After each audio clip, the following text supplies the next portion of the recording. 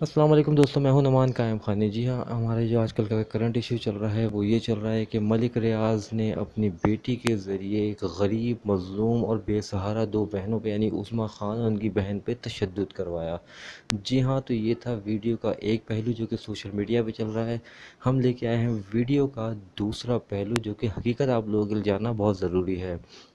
उस्मा ख़ान और उनकी बहन पर तशद बिल्कुल मलिक रियाज की बेटी ने ही किया है, जिनका नाम आमना उस्मान है। क्यों किया है, ये जानने के लिए देखिए वीडियो एंड तक। एंड तक नहीं देखेंगे तो आप हकीकत नहीं जान पाएँगे। अभी सोशल मीडिया पे 10 घंटे पहले वायरल होने वाली वीडियो ने सोशल मीडिया पर आग लगा दी है। ट्विटर, इंस्टाग्राम, फेसबुक और जितनी सोशल मीडिया साइट्स हैं, तमाम की तमाम इस वीडियो से भर चुकी हैं। हर आदमी अपना मौक़ दे रहा है, हर आदमी अपने हिसाब से शेयर कर रहा है, हर आदमी गलत बात को सुन रहा है और शेयर कर रहा है। तो मैंने इसीलिए सोचा कि एक क्लैरिफिकेशन वीडियो लाजमी आनी चाहिए। वैसे तो खैर, मलिक रियाज की जो डॉटर हैं, आमना उस्मान, उनकी तरफ़ से क्लैरिफिकेशन वीडियो आ चुकी है, लेकिन उनकी वीडियो को लोग फेक कह रहे हैं। तस्दीक के बाद अब हम आपको बताते हैं कि वीडियो में सच्चाई क्या है और झूठ क्या है। सबसे पहले जो दिखाया जा रहा है घर, वो उज़मा ख़ान, उनकी बहन का बिल्कुल नहीं है।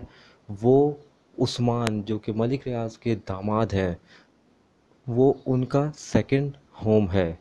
तो जो टेक्निकली अगर हम बात करें तो अगर मलिक रियाज की जो डॉटर है, आमना, उस्मान, वो अपने ही घर में घुसी हैं, अपनी ही चीज़ें तोड़ी हैं, और ये दोनों लड़कियाँ जो उस घर में उस वक्त मौजूद थी, जो कि शराब और कोकेन के नशे में उस वक्त मदहोश थी और उस वक्त शराब और कोकेन का नशा कर रही थी।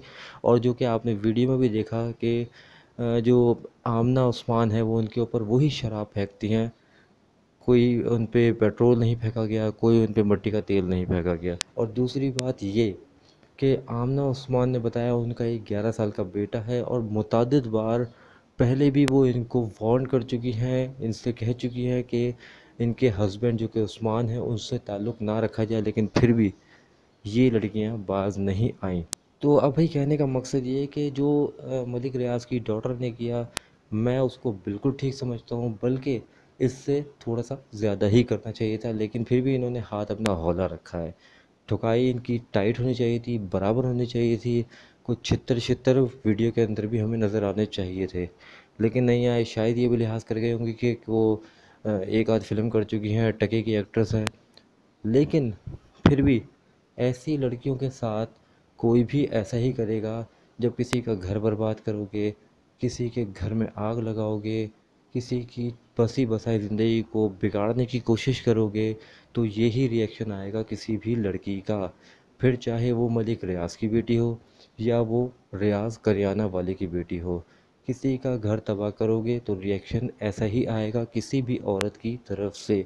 और ये तमाम औरतें जो अगर ये वीडियो देखेंगी तो वो इस बात की तायद करेंगी। तो इस किस्म की औरतें जो कि होम ब्रेकर्स हैं, जो कि लोगों के घर बर्बाद करती हैं, ये उज़मा ख़ान उनकी बहन जैसी औरतें, खुदारा खुदारा खुदारा मीडिया पे अंधाधुन इनको सपोर्ट करना बंद करिए। हकीकत को थोड़ा सा जानिए, थोड़ी सी तहकीक कर लिए कीजिए। शेयर का बटन दबाने से पहले थोड़ा सा आप लोगों का अपने जहन को खोलना बहुत ज़रूरी होता है, वरना आपका एक शेर अगर किसी गलत चीज़ की गवाही में चला जाए तो यकीन मानिए वो भी गुनाह जारिया है। उसको ये मत समझिएगा, क्योंकि आपके शेयर को कोई और भी बग़ैर सोचे समझे शेयर कर देगा। ये समझ के कि शायद आपने हक बात शेयर की है। तो खुदारा खुदारा खुदारा, हम में से कौन नहीं जानता कि ये मीडिया पर्सन किस किस्म के होते हैं, ये मीडिया के लोग किस किस्म के होते हैं, इनका काम सिर्फ़ लोगों की ज़िंदियाँ बर्बाद करना होता है। ये उज़मा ख़ान और उनकी बहन जैसी जो औरतें या लेडीज़ हैं एक गरीब आदमी को अपने पास भी नहीं बैठने देती होंगी। लेकिन क्योंकि उस्मान एक वेल नोन फैमिली से हैं और ख़ुद भी एक बड़े अच्छे बिजनेसमैन हैं और दूसरा मलिक रियाज के सन इन लॉ भी हैं तो इस लिहाज से इन्होंने उसको फंसाया। फंसाया भी कह सकते हैं या उन पे उनके साथ एक रिलेशन रखा। कि उनको कोई ना कोई माली फ़ायदा या दूसरे फ़वाद होते रहेंगे फ्यूचर में। तो बस आपको यही बताना था, इतना सा आपके साथ शेयर करना था कि हकीकत जान के रहिए, अंधाधुंध शेयर मत कीजिए, किसी को बुरा या गलत जब कहिए, जब आप अपने तौर पे अपनी इन्वेस्टिगेशन पूरी मुकम्मल कर लें। लेकिन अंधाधुंध किसी पे ब्लेम मत लगाइए।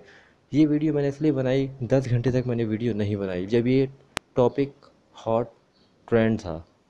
लेकिन जब मैंने देखा कि सोशल मीडिया पे लोग गलत ही राह की तरफ़ जा रहे हैं, गलत को सपोर्ट कर रहे हैं, ठीक को सपोर्ट नहीं कर रहे, तब मैंने महसूस किया कि एक वीडियो अपने तौर पर बनानी चाहिए। देखते तो खैर आप लोग वही है, पंद्रह बीस व्यूज़ आते हैं, लेकिन मैं अपने तौर पे मुतमिन हो जाता हूँ, अपने तौर पे सेटिस्फाई हो जाता हूँ कि मैंने हक बात का साथ दिया और हक बात का साथ देता रहूँगा। अपना बहुत ख्याल रखें दुआ में याद रखें। वीडियो पसंद आए तो लाइक शेयर कमेंट ज़रूर कीजिएगा। नुमान कायम खानी साइनिंग ऑफ़ वालेकुम